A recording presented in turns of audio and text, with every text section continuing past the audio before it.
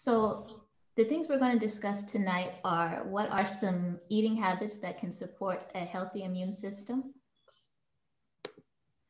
Eating habits that can increase our risk of some of the comorbidities that have been associated with poor outcomes from COVID 19, as well as evidence for herbal remedies as it relates to COVID 19. But before we get into it, I just want to break the ice a little bit with you all who are on the phone with a couple of questions. The first one is growing up, what did you learn about food in your household? And how did what you saw as a child affect your food choices as an adult? I'm going to go first, and then anyone else that wants to contribute, you can do so. I remember we always kept a picture of Kool Aid in our refrigerator at all times, and the Kool Aid my mother thought that she was being healthier because she would always mix it with orange juice. And if anyone knows about the Kool-Aid, you know, we put about a whole bag of sugar over into that, that drink. And that's what we had on a regular basis. And my mother was also the cook for the entire neighborhood, our church, whenever you needed some cake or pie or something, she was the one that made it. So we always grew up with a lot of sweets. And it wasn't until I was early on in my nursing school, um, actually one of my study buddies, because I used to have sweets for like breakfast, lunch, dinner. Me and my study buddy, we would literally, I would have like a milkshake for lunch and not have any real food. And then one day she goes to me, you know what? There people are saying that fat is bad, but sugar, you know, it's not good for us too. And so I was like, in that moment when she said that to me, then I started, you know, reading and seeing for myself, oh, yes, I'm really consuming a lot of sugar.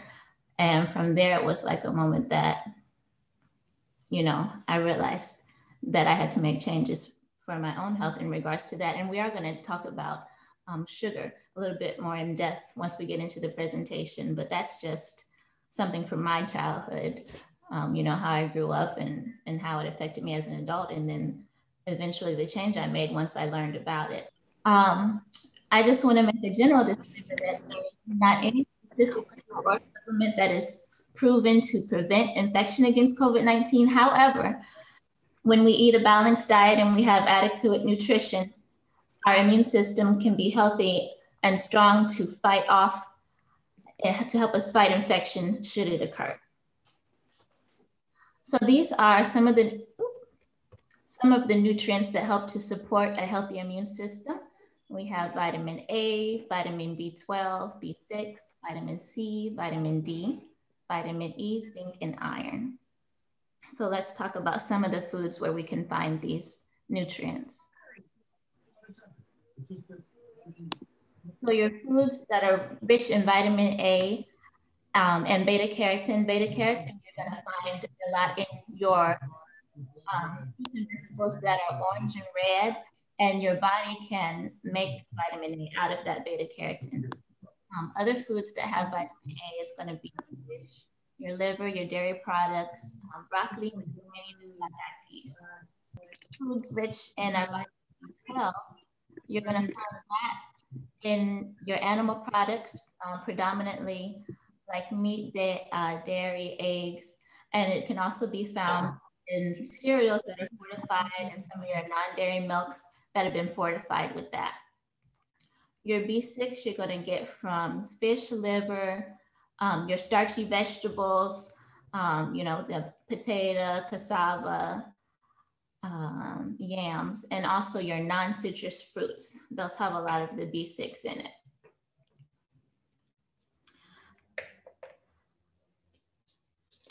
And your B vitamins, those help to support immunity. Your B12, it's necessary for proper formation of your red blood cells, which are important in, to our immune system, as well as the B6 um, supports our immune function, as well as the hemoglobin formation. Now, vitamin C. When you think about vitamin C, we, I think many of us think of first as our citrus fruits, you know, our oranges, our lemons, our limes. then believe it or not, our bell peppers are an excellent source of vitamin C, the red and the green bell peppers. Uh, you can also get it from kiwi, broccoli, cabbage for those cabbage lovers in the group, um, cantaloupe, and uh, cassava is another example. Now, vitamin C is an important antioxidant. So what is an antioxidant? That is a substance that helps to protect our cells from damage caused by free radicals. Now, free radicals, that's something that our body makes naturally just going about our daily life living. It's part of our aging process, but we can also um, produce more free radicals when we're exposed to things like pollution. Anybody that smokes is going to have more of those. Um, radiation exposure, some kind of chemical exposures, uh, industrial chemical exposures.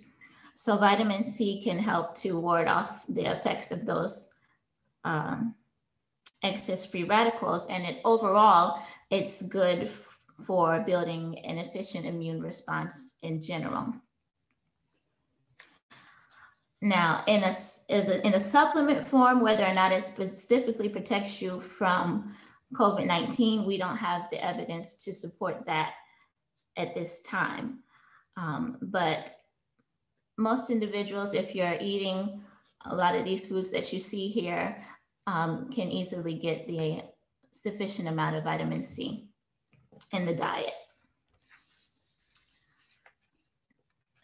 Next is vitamin D, and I know you've been hearing a lot about this from our previous presenters because we do have literature now that's showing that individuals with lower vitamin D levels are at risk for having poorer outcomes should they have COVID 19.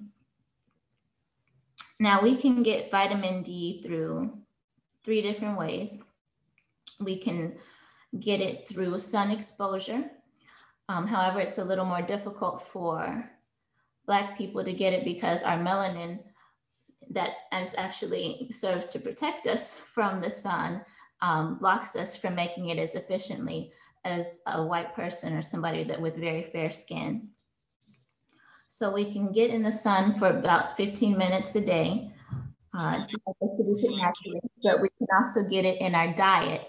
And the foods and, in our diet that um, are rich in vitamin D include your fatty fish, um, you know, it's like salmon, egg yolks, cheese, mushrooms, and it can also be found in fortified products. Again, you see a lot of milk fortified with vitamin D or different cereals fortified with vitamin D.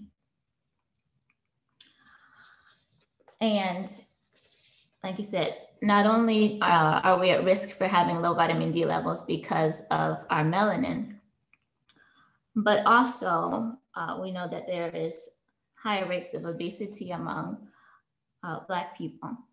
And that's an additional risk factor for having low vitamin D levels because vitamin D gets stored in fat cells. And so the more fat on the body, then there's that more of that vitamin D is stored in that fat instead of circulating around in the body, doing what it needs to be doing to help our immune system. So with that being said, you know, if you think that you might be at risk for low vitamin D, or if you don't know what your level is, you can speak to your healthcare provider to see if you should get your level checked or to see if you should be taking any supplements.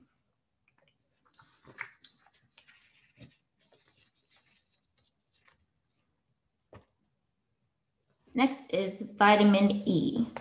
This is another vitamin that also has antioxidant properties. And remember, we said that our antioxidants can help us to uh, protect us against those extra free radicals, which are products of metabolism, as well as our exposure to the uh, pollution, extra smoke, and some, some things in our environment that can also contribute to that. And it's also involved in our natural immune response.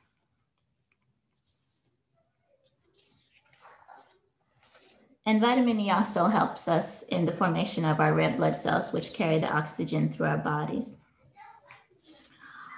you can get vitamin E in foods such as wheat germ, um, nuts and seeds, like your peanut butter, peanuts, sunflower seeds, also green leafy vegetables like our spinach, our collard greens, kale, mustard greens, callaloo.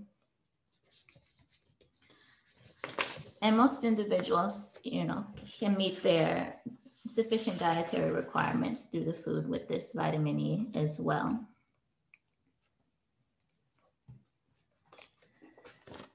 Zinc. That's another one that's been going around a lot in the news. Uh, zinc is a mineral. Um, it's called an essential trace element, and we just need very little bits of it for our health. And we don't store the zinc in our bodies, and so that's why we need to have it uh, incorporated into our diet on a regular basis to make sure that we do get the small amounts that we do need for our health. Foods where you can find zinc, oysters is one of the highest sources. Um, it's in seafood, such as crab.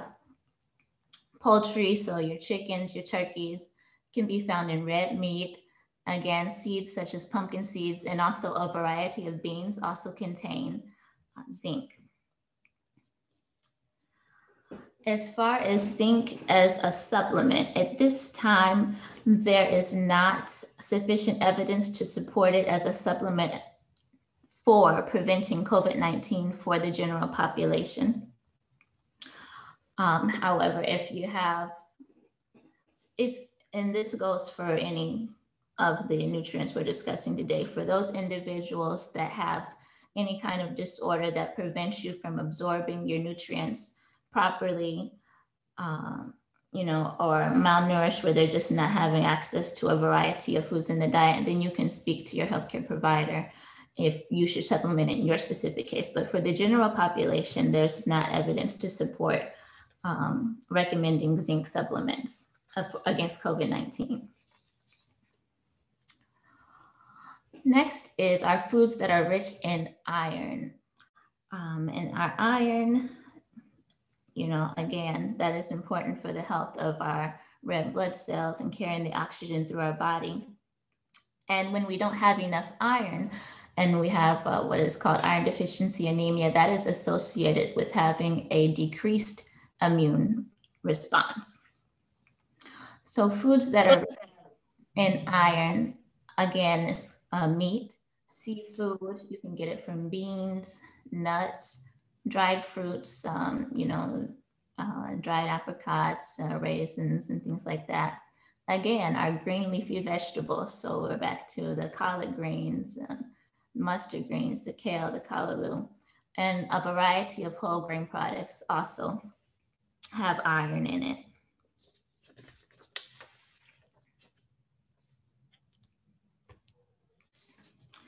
So this is this healthy eating plate, this is just a guideline for what you can have in mind when you're designing your plates. You will see here that the largest section is vegetables. So good thing tonight that we have some vegetable lovers in the crowd um, because the more veggies and a greater variety, like you said, if you were seeing as we were going through those different nutrients that support the immune system. You saw vegetables come up on a lot of those slides. So they can provide you a lot of vitamins, minerals, uh, antioxidants that do support the immune system. And in this section where it's the green vegetables, we're focusing on our non-starchy vegetables. So we're not including the potatoes and uh, the French fries in that section and the uh, you know, sweet potatoes and uh, squashes. Those are our starchy vegetables. But this one is focusing more on those leafy greens and the broccoli, uh, you know, bell pepper, non, non-starchy vegetables. Then we see here we have a section for fruit. We want to make sure that we're getting a variety of fruit in our diet. I say eat the rainbow. We have a section for healthy protein. Uh, we want to focus on lean meats, uh, fish, poultry, beans and nuts can go in this section. And we want to avoid bacon, cold cuts, and other processed meats. And why do I say that? Um, now we have evidence. Uh, the World Health Organization has classified red meats now is called a, a class 2A carcinogen. And what does that mean? Carcinogen is meaning that it could cause cancer. Now, the classification that this in is not saying that it definitely does, but it's saying that we have enough evidence to show that there seems to be an association between those that are consuming red meat on a regular basis and cancers, particularly colorectal cancer, and a little bit of evidence that it could increase risk for pancreas and the prostate cancer. So that's why we want to limit, not that you can't have it, but we want to limit the amount of times per week that we have the red meat to about two to three times a week. Um, the process, the, uh, the bacon, cold cuts, and other processed meat. So processed meat, that's any meat that has been salted and fermented or undergone some kind of processing time to extend the shelf life of it so that it can last for longer. So that's going to include your hot dogs and uh, the ha cured hams, uh, sausages, bologna, beef jerky, canned meat.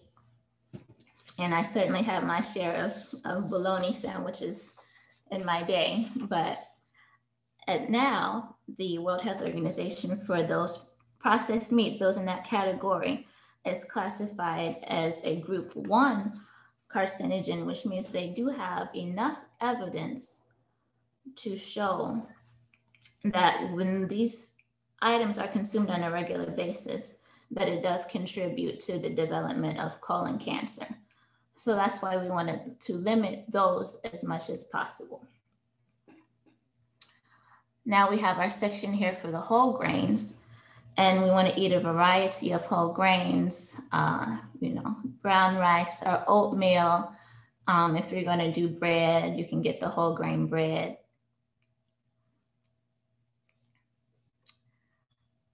And we have healthy oils. We want to choose oils that um, have un, are, that don't have the saturated fat in them. That means that if it's at room temperature, it should be liquid. So these are oils like olive oil, canola oil, avocado oil. Um, and we can use these on our salad.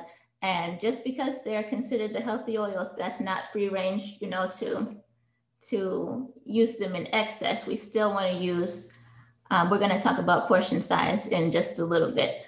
We still want to use them sparingly because um, it, it, an oil is still a processed food and you can easily rack up your amount of fat that you're consuming and your calories, but in moderation. Um, these healthy oils can help, especially if you combine it like over your salad, because it can help you to better absorb some of the uh, nutrients from the vegetables when you combine it with a little bit of, of healthy fat. Next we see up here is water. Mm.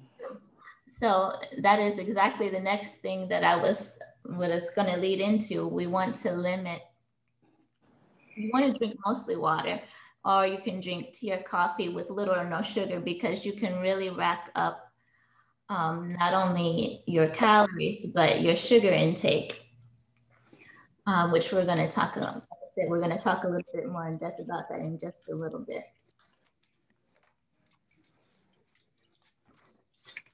This visual that you see here is a guide to what portion sizes should look like when you're having your meals when we're thinking about our protein section on that plate, a serving, so let's say you're gonna have chicken as your protein for that day, is about the size of the palm of your hand. That's one serving. And I know that we, uh, you know, sometimes we make that portion the main course. We might have two or three big pieces of chicken on there and a little bit of vegetables, but I would encourage you to turn that around and make half your plate vegetables and use meat more as like your condiment on the side. And then when it's done like that, then it'll be easier for you to stay within those three, the size of the palm of your hand serving size, which is about three ounces. When we're talking about our whole grains, um, our rice, our pastas, um, we can include our, our starchy vegetables in here. Fruit, a serving size is about the size of your fist, which is gonna give you about a cup. Uh, beans and potatoes, you're gonna take your cupped hand, it's gonna be about a half a cup. Your two cups hands, if you're gonna have snack on uh, popcorn, pretzels, or chips, two cup of your hands is about one ounce. That's a serving size. Now we use our thumb to measure serving sizes for like our cheeses, hard, hard cheeses, peanut butter, um, your cooking oil. Because remember when I said we have the healthy oils that are on there, our oils with their unsaturated fat that are liquid at room temperature, but we still want to use those within the correct portion size. So that's your thumb tip. So keep that in mind. And that goes also for your mayonnaise, for your butter.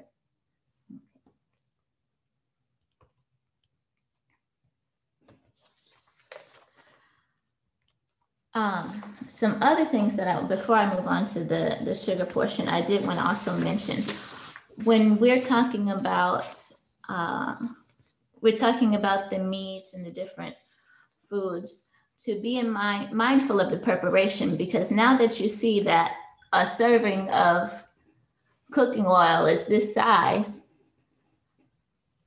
what does that mean if you're thinking about frying chicken? You you, you can't fry chicken in a serving size of this much oil right?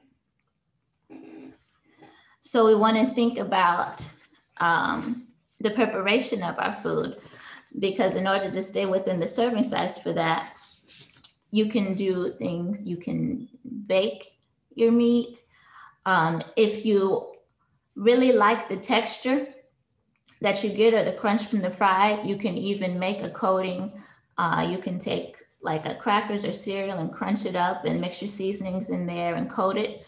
And then you can bake it in the oven and that will still give you a little crunch and if you can, if you have access to those, um, they have silicone baking mats that you can put on the bottom of your pans, and that will help it when it's baking in the oven. It will get a little bit crispy on the outside or either a, a wire rack. And now they have even the, the air fryers. I haven't tried that myself, but I, I have seen them now where you can use very little oil um, and you put it in that air fryer and it will still get the food crispy on the outside if you uh, are partial to that texture of the fry. But that's a way to do it without having so much excess oil involved that we know. Um, because fried foods is another thing that's actually individuals that eat fried foods on a regular basis have an increased risk of early death. And we know that fried foods when you're frying foods, a lot of times, not only does it have all that extra oil, which is contributed to a lot more fat intake than what we should be having, but it also has a lot more salt, um, which we're going to get into that in a bit. And I'm saying fried chicken as an example, but it, it's not only the meats that you have to look out for that are fried. You know that a lot of pastries are fried, donuts are fried our potato chips, sometimes we don't think about it, but most of those are fried. Um, and even for those that are salad lovers, you have to look out because a lot of the toppings that they sell, like these tortilla uh, strips and the crispy onions and all of those things, have been fried. So you have to be careful uh, with that as well.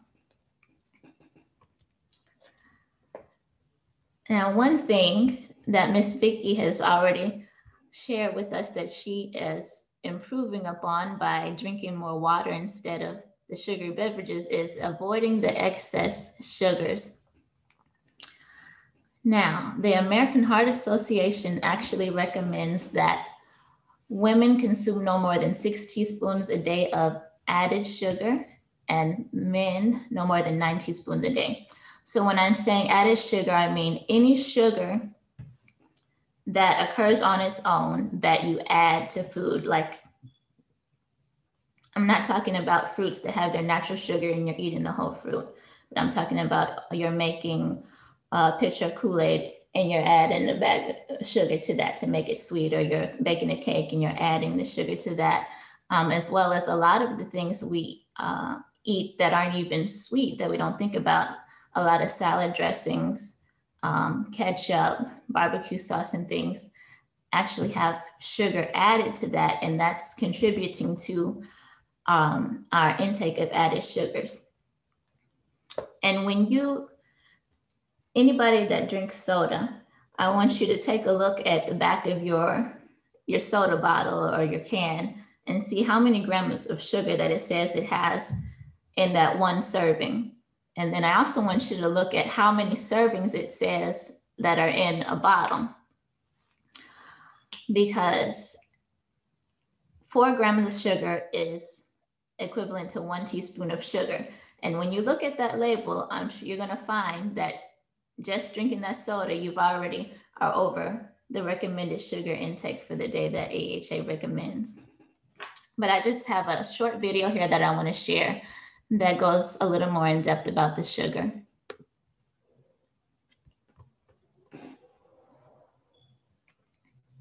The average American consumes nearly 70 pounds of added sugars each year without even knowing it. Can you imagine?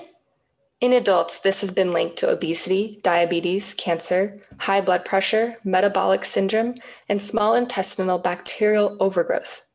It may even play a role in food allergies, autoimmune diseases, irritable bowel syndrome, and behavioral issues. In children, moderate evidence indicates a relationship between all these sugars and an increased risk of cavities. Some studies also show they increase the risk of childhood obesity by 55%. Because all of this, medical and public health fields are really cracking down on added sugars in our diet. The USDA has found that Americans age one and older are eating too much sugar, fat, and sodium, and not enough dairy, fruits, vegetables, or oils in their diet. One of the areas we struggle most with is added sugars. The 2015 to 2020 USDA guidelines recommends healthy eating patterns with added sugars accounting for less than 10% of our daily calories. The American Heart Association recommends that adults try to limit them to about 25 grams for women, 36 grams for men. For kids, they recommend setting that limit at 12 to 25 grams per day, depending on the child's size. That's three to six teaspoons. But when we say added sugars, what exactly do we mean? Added sugar is the extra sugar that isn't naturally in our food. Fruits, vegetables, and dairy products, for example, all naturally have some sugar, and those sugars are okay. What we are talking about is the sugar added during processing or baking to make things sweet drinks, yogurts, ice cream, cake. You get the idea. Up to three quarters of our packaged foods have added sugars. These include table sugar, syrups, and other caloric sweeteners, and are noted on labels by all sorts of different names. Be careful about honey and maple syrup. While they are natural, they still count as added sugars. The main reason added sugars are a problem is that they load our food with far more calories than it would have naturally, with no real benefit. In fact, excess sugar is turned into fat. But how do we translate this for practical eating and address childhood and adolescent nutrition needs? Discuss with your provider and dietitian how you can meet these goals. When juices are consumed, the AAP recommends they should be limited to four to six ounces of 100% juice without added sugars. In the kitchen, the American Heart Association suggests baking with 30 to 50% less sugar in recipes might not affect taste too much. Substitute unsweetened applesauce for sugar in recipes. Use extracts, almond, vanilla, orange, and lemon in recipes for enhanced taste. Add fresh or dried fruits to cereal, porridge, or oatmeal. Know that children between 4 to 13 years of age are most at risk for rapid rise in added sugar intake. Some sugars are hiding in plain sight. Flavored yogurts can add up to 30 grams of sugar or more. One tablespoon of ketchup or barbecue sauce may contain a teaspoon of sugar. We should also identify the major sources of added sugar in a typical diet and target those. Sweetened beverages account for half the intake. Snacks and sweets account for around one third of the intake. So these two alone account for 80%. Reduce these and you are near to achieving your goal. So that's it. Added sugars can adversely affect our health. Children over the age of four are most at risk for rapid rise in added sugar intake. There are many practical strategies to decrease intake of added sugars while still enjoying our food. Thanks for watching.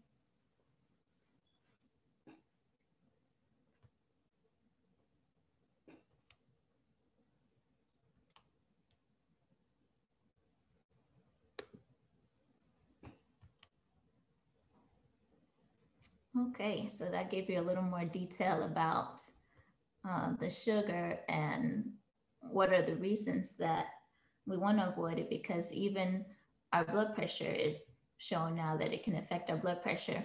We think about salt a lot of times when we think about our blood pressure, but also the sugar can affect it. The other thing that we want to be conscious of in our our diets when we're thinking about um, managing or preventing, if we don't already have it, these comorbidities such as high blood pressure and um, heart disease is our sodium intake. Now, for sodium, the American Heart Association recommends the 2300 milligram of sodium a day maximum. Ideally, it would be 1,500 milligrams a day. And that's what we really want to aim for because it seems is in regards to our blood pressure as Black people that we're a bit more salt sensitive than um, our Caucasian counterpoints. And this just give you an idea here about how much, how many milligram of salt. One teaspoon of salt is 2,300 milligrams. So for those of us that like to sit down at the table and start shaking the salt on before we stop, before we even taste the food, that's something to think about because it's only one teaspoon and you've already met your, your daily sodium intake.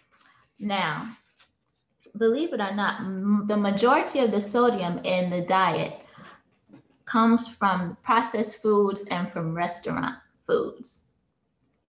It's only about 10% that is coming from the food that we add ourselves while we're cooking.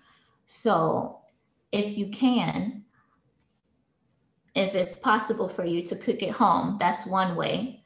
And to cook your own food, um, then that's one way that you can cut down on a lot of that as well, because that's what the American Heart Association estimate that we just get 10% of our overall sodium intake from cooking our food. Um, there is some natural occurring sodium content in food. Uh, that's about 15%. But like I said, it's 70% is coming from our processed foods and our restaurant foods, our canned foods. So what are the risks associated with this increased sodium intake? Um, like we said, we know that it can affect our blood pressure, it it causes the body to hold on to excess fluid. And so then we have some consequences that can come from that when it, we've held on to that excess fluid for, for too long which could be heart failure um, having our heart muscle get enlarged because it has to work too hard to pump the excess fluid that we're retaining in our bodies because of the sodium um, could lead to kidney disease stroke uh, kidney stones. Okay that's just some of them so what can we do about this? Um, if you have only access to the canned foods, what you can do, um, like your canned vegetables, you can rinse them off. So that will help take off some of the excess sodium that's already in there. And like I said, as much as you can, just try to make your own foods instead of using the prepackaged meals like the TV dinners and things like that, very high in sodium. If you're going to go to a restaurant, some of the highest, well, right now we shouldn't be in the restaurant because of the pandemic, because we know that eating at restaurant increase our risk. But if you're getting carry out, um, some of the highest sodium foods at a lot of restaurants is going to be the soups. We think, oh, the soup might be a good choice. Maybe it has some nutrition in it, but most restaurant soups are very high in sodium. What we can also do, even when we're cooking, is instead of um, adding extra salt, we can make sure that we're using a lot of herbs and spices in our cooking to add extra flavor to the foods without having to add excess salt.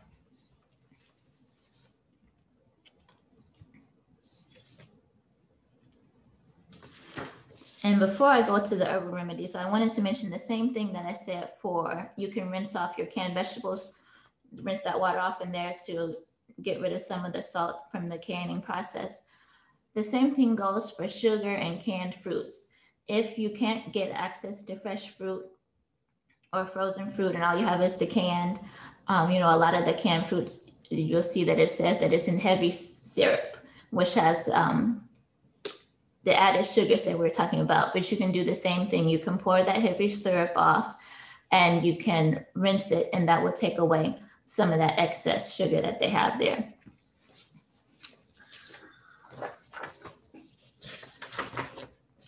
Now, in regards to the herbal remedies, overall, this is a message to make sure that you consult your healthcare provider before you start any new herbal or supplement regimen.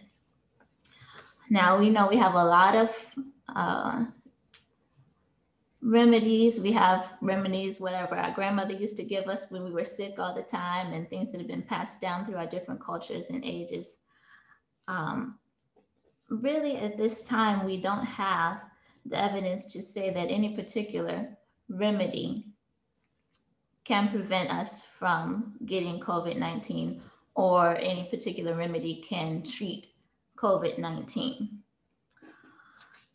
There are some, however, that we know that we need to take precautions for because it could be harmful to us because just because something is natural does not mean that it is safe, particularly if you may be taking other medications. So, especially if you're on certain medications if you're interested in trying a remedy or taking a certain herb, you need to make sure to speak with your healthcare provider to make sure it's not going to have any um, negative interaction with the medication that you're taking. Uh, one of the things that seem to be coming up lately is the elderberry as a remedy. And the elderberry actually has uh, evidence that it can promote what is called a cytokine storm. And that is one of the reactions that COVID 19, that has been seen in COVID 19 patients already. So we want to avoid that particular supplement because we don't want that's basically an, when your immune system overreacts you call the cytokine storm because it's releasing um, the immune cells are releasing specific substances but it's it's too many of it um, another one, uh, the colloidal silver. There is no evidence to support it uh, as for treating infections. It can actually cause, uh, depending on your skin tone, it can leave a blue tinge to the skin that can be permanent if it's used over time. Now, a lot of these other things that we like to take, uh, garlic, green tea, our ginger, Echinacea. There's a lot of, uh, you know, your herbal teas, they do have antioxidants in them. Um, as we talked about earlier, antioxidants can be good for our overall health. Um, however, there's not any evidence that it in particular can prevent or treat the COVID 19. So, you know, our herbal teas and the, the garlic and all of that, it's generally safe as is part of a normal diet, and it can even help, you know, help us with some of the stress from the aspect of um, herbal teas is if you use that sometimes before you go to bed, you have a cup of tea to help you relax, you know, in that aspect it can be helpful. But from the perspective of preventing or treating COVID-19, we just at this time don't have the evidence because the virus is still new and we're still learning, learning things about it.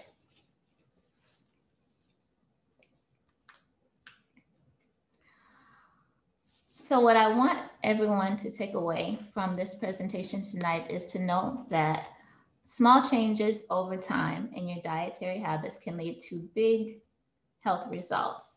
And so what I mean by this is from all the information that we covered tonight, if you see that, oh, we've covered, um, we know that the fruits and vegetables are good and that we want to avoid the excess sugars in the soda and maybe you're someone that likes to sit down and drink your soda and eat your potato chips while you watch Netflix at night. I don't know. But what I'm saying with this is that you don't have to change your whole diet all at once because that could be setting yourself up for failure. But if you have a set a goal, a small goal, for example, um, I always think about one of the, the nurses that actually trained me when I first came out of nursing school. She drank Mountain Dew the way that we should be drinking water, like eight to 10 uh, glasses a day. And uh, so if you drink soda like that, you know, you might start by saying, okay, instead of having the soda four times a day, I'm going to cut it in half for a month. And then after that month, you say, okay, now I'm gonna cut it down to one and to two, you know. Don't try to change everything all at once. Make a goal that is realistic for you to achieve. And then also know why. Why do you want to make healthier uh, choices in your diet? You know, is it for your health? Is it to be there because you have a loved one to take care of? Because you have a child that you want to see grow up, you know, think about why you want to do it because when you have that in mind, it can help you to stay motivated towards your goal. And then just make small goals that you can work towards time by time. But over time, that will pay off.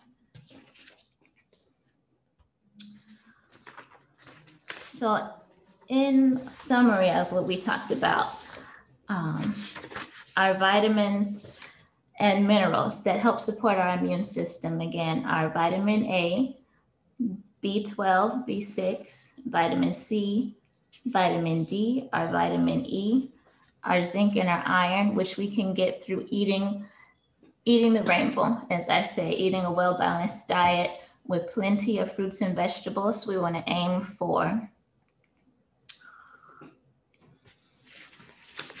half of your plate to be vegetables at your meals, about four servings of fruits of different varieties, about five servings of vegetables a day, eating our whole grains that has our fiber in it and also has uh, our vitamin E in there, having our um, nuts, eating red meat once or twice a week, poultry two to three times a week. Snacking. Uh, we know that during the pandemic, we're stressed. Um, some of us deal with the stress by wanting to snack more on things. If you're able to, instead of the potato chips, if you like crunchy things, if you're able to get fresh vegetables like a cucumber or uh, celery, carrot sticks that you can cut up and have already ready in your fridge that you can just snack on those and you can still get a crunch and you can still have that snack that you want. But you're still at the same time, you're getting vitamins and minerals um, and less calories than snacking on chips or donuts or cookies or something like that.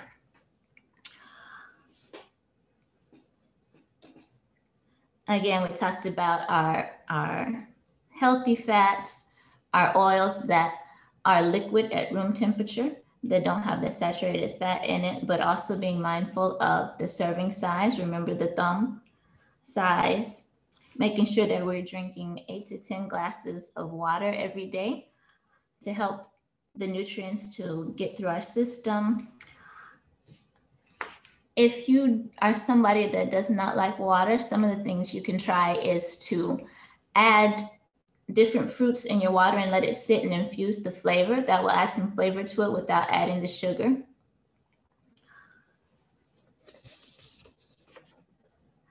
And also, we didn't, um, it was on the, the slide with the plate.